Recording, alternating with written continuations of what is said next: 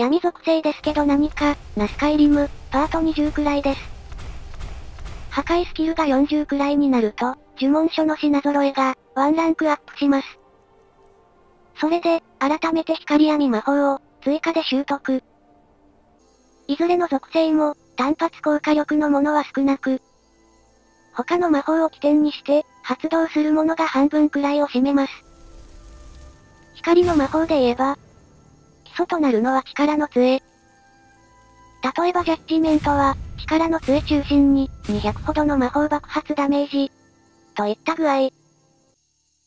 単発効果力で言えば、プラズマボルトですかね。こちらは、古式栄称などもろもろ込みで、800ほどの火力を誇ります。2連の唱えたようで、最大火力では、22300は、出るようですが、チャージにくっそ時間がかかる性質上、ボス戦などで役に立ちそうです。1、2、3、4、5、6、7。だいたい7秒くらい、結構長いの闇の方は、魔法同士のコンボもありますが、こちらのプリズムビームは、それ一つで独立した、闇属性のメイン火力です。毎秒64の集中型に加え、与えるダメージが、毎秒34ずつ、増えていくというもの。ビームが若干ずれていますが、当たり判定は問題なし。押村楽は、二連の唱えや、両手同時栄唱に、対応していないことですかね。長時間当てることで、進化を発揮する魔法なので、他の魔法で動きを止めてから使うのが、王道を行くのでしょう。さて、破壊スキルは、ファラルダさんに手取り足取り、教えていただくとして。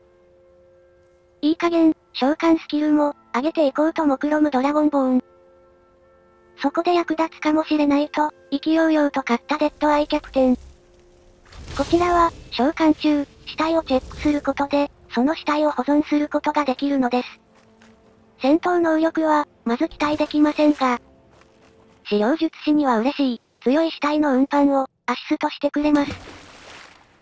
で、これがスキル上げの、何に役立つかというと、別に役立ちません。今度余計なこと言うと口を縫い合わすぞ。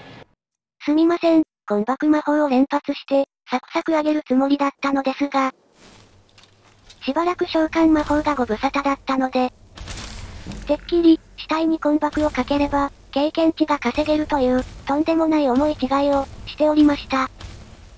なんという恥ずかしさ、なんという脳筋。おっと、どうやら自分の愚かさに、気がついたようです。そう、特に敵対もせず、賞金もつかない、スケルトン組んで、1000本コンバクノックを、すればいいだけのこと。大学の居住スペースに、ホーカーの死体を持ち込んじゃった、アークメイジ。資料術は大学校内で使うなと、大目玉を食らいそうですね。ということで、早速打ち込み、開始じゃ。編成パークのあれで、コンバクは消費ゼロです。経験値稼ぎをする分には、別に眠らなくてもいいのは、楽じゃのう。そんなわけで、レベル75くらいです。ここで取っておきたいのは、スケルトン強化系パークですかね。死の潮流は、基礎間近50につき、スケルトン召喚数を、1増やせるので、今は最大で、4体同時ですね。間近を上げまくれば、大量の骨軍団を、従えることも可能な、ロマンパークでしょう。スケルトンの命令及び、火ダメ軽減パークに、死体から骨の部品を見つけやすくなり、かつ、スケルトン退場時に、パーツがすべて、手元にリサイクルされるという、実質骨無限パーク。加えて、属性魔法を使える、明治召喚も。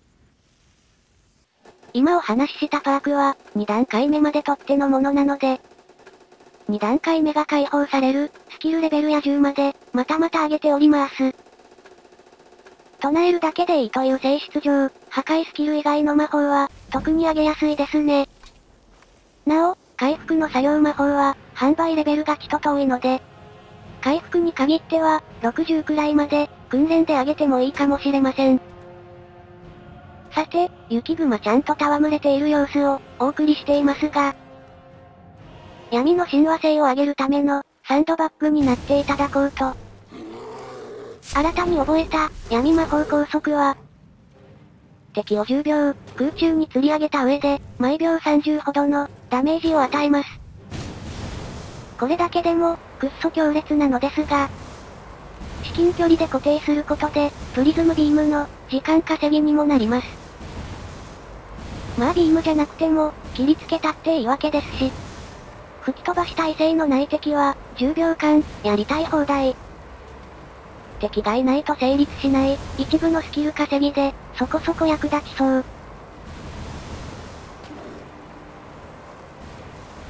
ちょっとカメラさん寄りすぎてんよ。とまあ、こんな具合で、地道に親和性を、稼ぐわけです。今現在、だいたい800ほどなので、もうちょっと、ですかね。では、親和性をそれなりに稼げつつ、個人的に使いやすかったコンボを、一つ。まずは、虚無の共鳴という、闇魔法を敵にかけまして、その後、当てたところから、影のオーブが発生する、まんま影のオーブを連発、これだけです。虚無の共鳴を加えることで、400ほどの威力を、連続して浴びせられるわけですね。虚無の共鳴は2連で唱えて、効果時間を伸ばし、影のオーブは、片手バラバラで唱えて、手数を増やすのが効率的でしょう。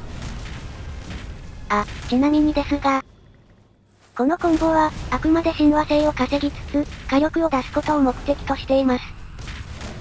敵をさっさと駆逐したいなら、アイスジャベリンあたりを、2連の唱えでぶっ放していれば、すぐに終わりますです。はい。しかしながら、虚無の共鳴も影のオーブも、栄唱して、即着弾するタイプの魔法なので、安全重視で、距離を取って戦えるのも、嬉しいですね。影のオーブが余り始めたら、虚無の共鳴のかけ直しどころ。一応、影のオーブに関しては、他のコンボ闇魔法もあるので、虚無の共鳴で即起爆せず、戦場にばらまいておくのも、一つの手でしょう。そんなことをしていたら、破壊スキルも65くらいを超えまして、熟練者レベルの呪文書まで、販売されるようになりました。例によって、全部はお見せすることはできないので、一つだけピックアップ。一番気に入ったのは、高速化でした。これは、20フィート以上離れている敵に、高速接近した後、吹き飛ばしプラス、100以上のダメージと、魔法でありながら、脳筋臭い攻撃魔法です。こんな具合で、複数の対象を巻き込めるのも、親指を立てざるを得ない。はい、それでは、最後に仕上げといきましょう。各地のスキルブックを巡りつつ、適当な雑魚散らし。道中、ネームドドラゴンにも出くわしましたが、悲しいかな、アイスジャベリンサンプで、沈むくらい、そ雑魚な目くじでしたとさ。一発1500だし、多少はね。はい、スカイリムを駆けずり回って、達人クラスまで、上げてきました。達人解禁クエストは、過去のシリーズでもやっているので、バッサリお蔵入り、しょうがないね。そうそう、アポカリプスマジックの、最強の達人魔法は、割と前から変更されていましたね。古いバージョンでは、空中から隕石を降らせるものでしたが、現在は、三属性の基礎魔法を、威力2倍にして、10秒間浴びせる、というものになっています。見た目上、強くないように見えるかもしれませんが、これが最も輝くのは、破壊パークツリーで、全属性を最大強化してから、になります。さて、ネットリスキル上げも完了しまして、いよいよ、スペクトラバースの、最終局面に、進むことになります。条件を満たした上で、光か闇、いずれかの魔法を使うことで、フラグが発動するようです。You betrayed us, Dragonborn. あ。ちょっと待ちたまえ。ロード直後は、何にもできないんですがそれは、こういう時は、理不尽ってレベルじゃねえので、隠密状態でと。こういう時は、理不尽ってレベルじゃねえので、隠密状態で突入しましょう。ただ、このままではバレバレなので、透明化も合わせてね。行くぞこら、バカ野郎お前俺はロード直後も助かるぞお前。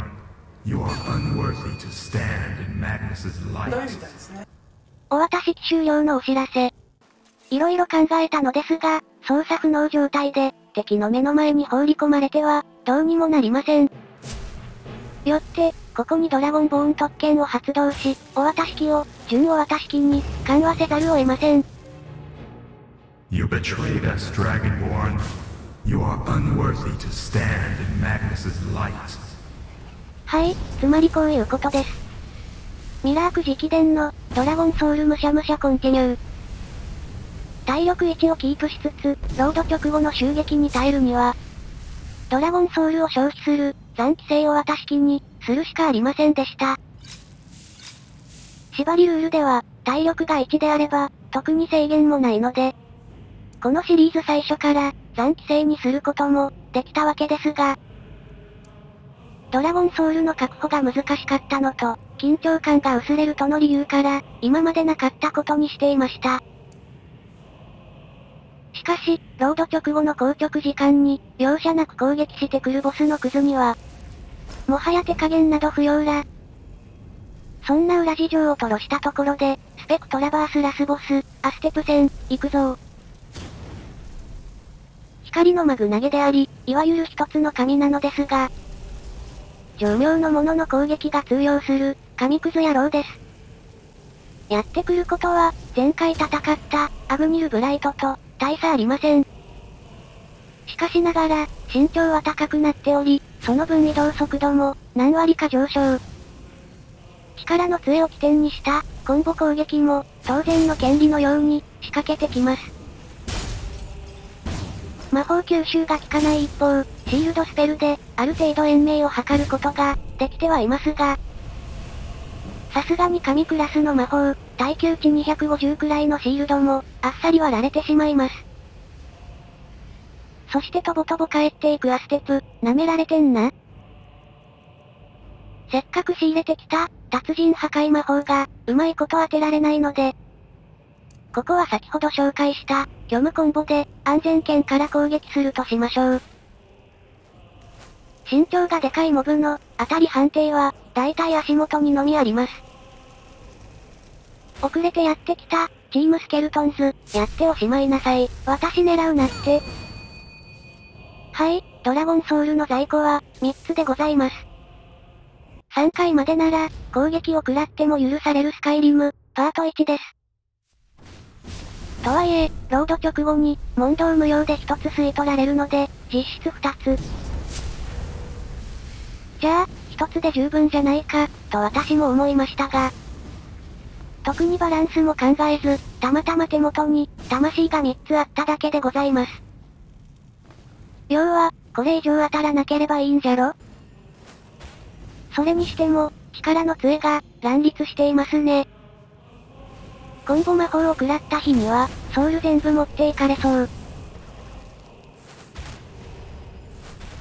ぐぬぬ、全然当たらん。当たり判定は弁慶の泣きどころ、はっきりわからないんだね。そうは言っても、さすがに破壊スキル、90まで鍛えたこともあり、アグニル戦と比べても、与えられるダメージが、飛躍的に向上しています。案の定、体力7割ほどで、確定魔法攻撃ですって。このペースだと、あと1回は、確実に確定攻撃をしてきますね。あふん。うーん、さすがにソロでは厳しいのう。髪に噛みつく、たくましいハゲを呼べば、形勢が一気に有利になることは、前回で学んだ通りです。マグ投げですら、その存在を滅ぼせないアーニエル、実はすごい存在に、昇華したのでは？よしよしよし、動かない髪は、いい髪だ。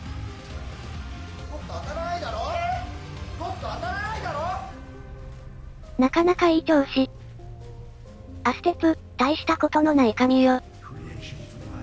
足元に魔法陣、だと？だが効かぬ、通じぬ。発生の遅い魔法に、今更当たるわけないだろ、おとなしくしろ。ほらほらほらほら。あ、いつの間にか、ハゲがハゲてますね。やば。申し訳ないが、即着弾の光爆裂魔法は NG。ちょっと思うところがあって、虚無コンボは中止。2連の唱えが可能な、単発効果力の、影の連弾に、切り替えていきます。虚無コンボは、その手数の多さから、スペック上の瞬間火力は、頭一つ抜けているのですが、影のオーブはいかんせん、連発することが前提であり、私のガバエイムでは、むしろよだめがぐっそ下がります。奴の魔法を回避するため、左右にフラフラしなければならないのも、命中率低下を加速させています。それよりは、チャージして、一発必中スタイルの方が、攻撃と回避と、しっかりメリハリがつけられ、まだダメージが与えられるって寸法よ。あ、魔法陣、これやばくねここは慎重かつ大胆に。思ったより間に合ってない。やっぱりダメじゃないか。二度目の確定魔法攻撃は、魔法陣設置からの、中規模爆発。見てから回避余裕の、慈悲深い攻撃、お助かる助かる。意外と範囲広そう。ファイアストームくらいはありますかね。さあ、そんなこんなで、自称光の神様、アステプの命も、残りわずかよ。ハゲ崖をむしられたので、スピードポーションで距離を取り、安全圏から、最後の一押しをするのじゃ最後の最後で戦う手を下ろす、神のクズがこの野郎。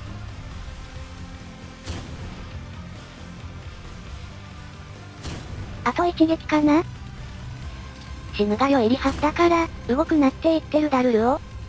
今度こそ死ぬがよい。やったぜ。Is time, mortal. Your suffering is over. Behold our new world. イルマーシさんもご満悦みたいですね。光のマグナゲが消えたからといって、別に世界を滅ぼすとか、そういうことはないようです。これで、世界崩壊は食い止められて、万々歳よ。これで、スペクトラバースのクエストは、終了ですが、光闇、どちらのルートでクリアしたかで、最終的に手に入る、パワーと達人魔法に、違いが出ます。パワーの方は、銀河の終焉の、闇属性版みたいなものです。一方的に攻撃する手段が、もう一つ増えた、くらいに考えておけば、よろしいでしょう。ワームホールの方は、魔法弾の連射が早いので、エイムがお上手なドバキンなら、1000ポイント単位のダメージも、期待できますね。私には無理です。え、言わなくてもわかってるって？嘘をつくな嘘を。で、マグナゲ討伐完了後に、達人魔法も販売されます。グラビトンコアは、単体攻撃魔法ながら、長めの拘束時間に、それなりの継続ダメージ。最終的には、十数メートルから、落下させるのです。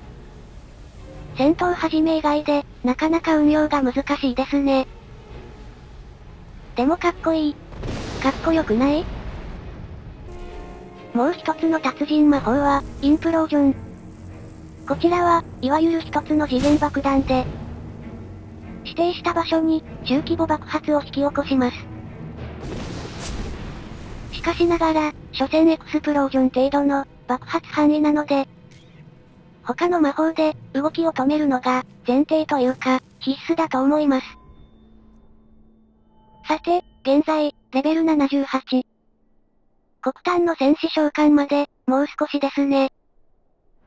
このまま破壊と召喚あたりを、100にすればたどり着けそうです。その過程で、もう一つくらい、パパッと終わるクエストモッドを、やるかもしれません。その辺は、モッドの空き容量と相談ですね。じゃ、今回はここまで。ご視聴、ありがとうございました。